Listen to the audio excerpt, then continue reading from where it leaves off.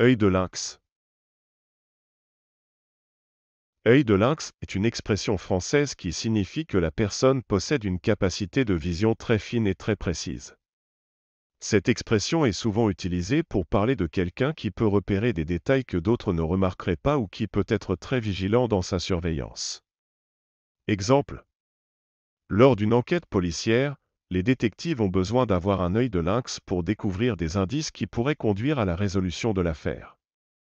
Le professeur avait un œil de lynx pour repérer les erreurs de calcul de ses élèves. Les mères ont souvent un œil de lynx pour surveiller leurs enfants, même de loin.